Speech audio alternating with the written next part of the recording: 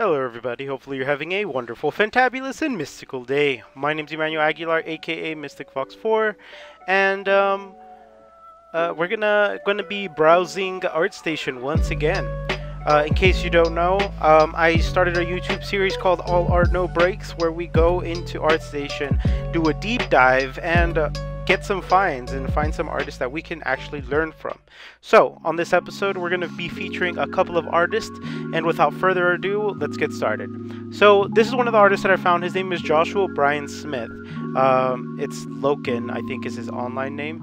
Uh, he is uh, AAD at Riot Games on the Valorant project. So, here's what we're going to be focusing on this episode, which is um, composition and lighting, right? And how it affects the piece and how it makes you feel. So one of the things that I've actually been studying more than draftsmanship, like um, last episode, or even shapes, is how a piece makes you feel. Because if it makes you feel something, then it's successfully done its job. Now, there's a lot of controversy around this, so you can take it or leave it. But I find it really important to have a piece make you feel something because it makes other people understand what it is you're trying to convey on top of um, you know the the technicality of like how you did it right? Because from afar it doesn't matter how good your lines are because you're not that close right? We're not zooming in on this picture right here just to look at these little details that he put in here no right? So you're, you're looking at the overall piece right? So when I talk about lighting what am I talking about? So this right here is the main focus, but this is the, the secondary, and then this is uh, one of the primaries, right? So we have the light that's like somewhere over here coming down here. It's hitting this, and then this is giving him a little bit of rim light here. And the, the light in the back, that's like a, a third light source is really really nice. And the, this little glow that's going on behind is just really popping right? All of these elements working together is giving away this giving off this ominous kind of a feeling and i really dig that. I like the the feeling that this is giving off like frightful or, or ready re ready to fight right? And these are just little things that the artist did. But you can see even here right? So like zoomed in like these little these little lines right here i think could be averted right? But and some of this stuff is a little bit messier, but like the point of the piece, right? The, when it makes you feel, it's all here, right? Like it, it the the mes- message is conveyed regardless of the technicality, right? The draftsmanship does not matter out the window, right? So um, that's something that I've been focusing on. So I want I found a couple of other artists that have done something similar with the the, the feeling and, and evoking that kind of emotion in the piece, and uh, I wanted to share those with you. Um, I'm gonna go ahead and dive in onto this guy's ArtStation because he does a really good uh, job doing this. Um, and then uh, I'll show you the other two. Uh, you can see in this one, right? This he he likes doing that spotlighting, and I think that it really works for his character here. Um, I believe he's like an adventurer type character, and he goes around doing things. But the, this feeling is like really. Um, th this one isn't ominous, but it's more like he's on his way somewhere and somebody hit him with a spotlight and it's shining off of all of his little gadgets and stuff, which I think is really cool. Um, like it sets it sets the mood in that one. Um, in this one too, right? This is like an epic moment. Something's about to happen, right? He just walked in, so the floor started cracking, boom, right? And the main lights here, it's bouncing off. It's giving off this shadow, which I actually imagine is gonna cast a bigger shadow because that red glowing looks like it's demonic in some way, shape, or form. But you get the idea, right? And and here he's kind of delving into the color palettes so that you know he can further render it in in the later phase. It says color sketch here, so exactly what what I'm trying to trying to convey. And and here you can see a lot of the colors, right, are like working together in a harmony that's like allowing the reader to feel both. Um, I guess hopeful is the word but also like something's about to go down, right? Like this red, the saturation of it is unlike very like almost anything else in the piece. Like nothing else is that saturated, other than the little light source, which is there simply to light him. But this, if you just had this circle here, right, and then you had no light source, this would be like really pop popping even more, right? Um, but he's in the dark too, so you have to give him a little bit of light source. Uh, so I, I really like how he uses lighting.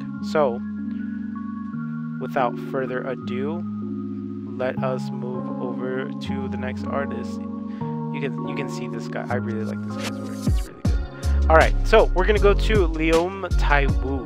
So uh, this artist is really uh, good at rendering, as you can see here, and they're really good at drawing. But what I wanted to focus on again is the lighting. So I like how it's the character's face is like pointed downwards, and like you don't have a lot of lighting on the actual face other than like the magic and scriptures and stuff that, or the enchantment that she's casting or whatever it is but you don't see a lot of lighting here so it's supposed to give that kind of ominous feel to it now this isn't a finished illustration with like a background and stuff but we do have a little bit of this stuff here in the background uh, on the half of the piece and I do think it serves a purpose of like giving you like a, a grounding to the piece this is something that I actually haven't tried doing too much in my pieces which is like give the character something to stand on.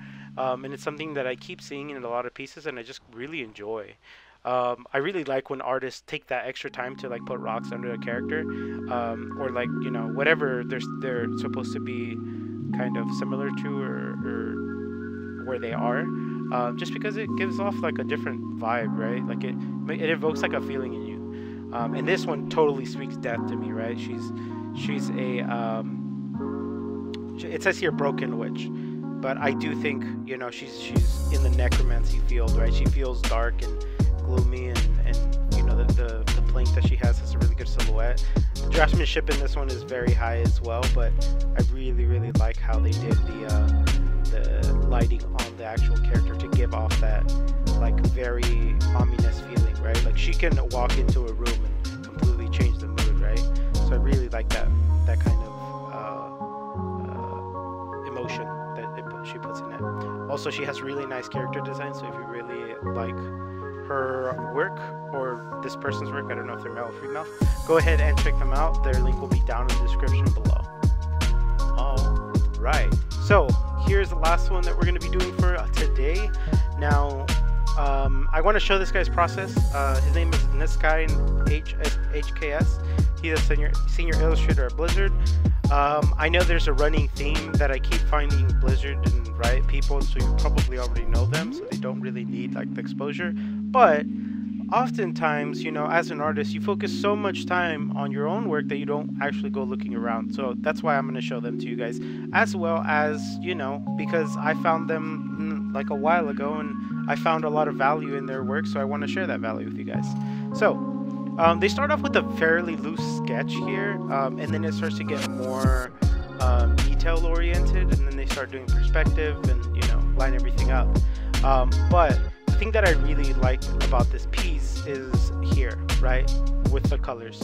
So the mood in this piece is very wholesome, and I really like that, right? Like she really wants to help, um, and I like that. You know, where they are is like really important because they're like in a kitchen, right? So you want to give off that feel composition, how would you do that? And he does it brilliantly by putting this little thing here. He puts the little roll of paper towels there so you know it's the kitchen. And then there's the light here, and then you can see like a lamp in the background, which speaks to like, oh, living room, right? So I like that. Also, I like the lighting of this piece you can see that it's like an afternoon you know they just finished going to do whatever it is that they were doing the lights coming in through the window and they're just you know uh, she's putting the bandages on him only half of her body is illuminated the other half is like in the shadowy area but there's like more blues in this area so it makes you feel like it's a more sweet wholesome moment and it's just one of those moments that these character this character sharing with only this person right so i really like the lighting in this piece. it just it, it does so much, not only in terms of um, like how it's evo like what feeling it's evoking, but also because of the colors that they're using in the different areas. Where over here it's a little bit more saturated than it is over here on this side, right? You see these tiles? Like these are more saturated. Over here on the bottom, they're a little bit more blue. They have blues. These have yellow and oranges. Um, so I think that that's really cool in the difference in, in, shading areas. And you can do this on your own too.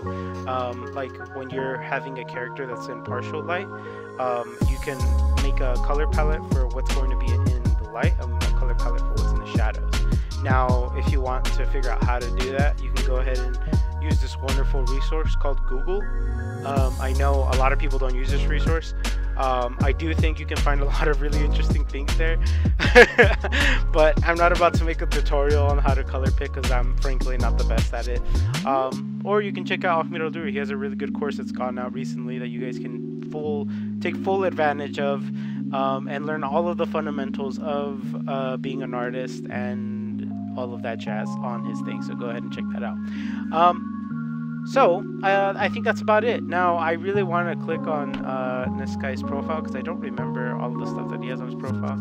Um, but you can see he does have a little bit of NSFW things here and there. So, you know, if you don't want to click on those, just don't click on them. I think that's perfectly fine. That's reasonable. Uh, and you see here, right? Like he's, this is a very diabolical scene. Like I can imagine like him like really thinking and like, you know, uh, I, I, I, the quote that I think about when I look at this piece is like, um, uh, what do you do what you do when nobody is watching is what defines you as a person, right? So when nobody's watching, he's thinking away, he's creating, he's crafting, right? So he's making this like ball. He wants to escape, he wants to get out, right? You can see here, right? He's a very thoughtful character, and I like that. Um, and even when he was like leaving and stuff, he was getting ready to go with him. He tied himself to the bottom there. That's really interesting how they did it. Anywho, guys, uh, if you liked the video, go ahead and smash that like button. Comment down below what, what artist did you feel hit that spot on the head with the emotion that evoked that certain feeling, right?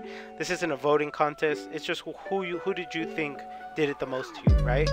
Um, as an artist, you try to do your best, and your main job is to make people feel things, right? When people look at your artwork, you want them to feel something. So, what did you learn from this video? Um, comment down below, um, and um, yeah, I'll see you guys next time. Um, don't forget to like, subscribe, and uh, hit the bell icon so you get notified when the new videos are going up. Alright guys, don't forget, stay mystical.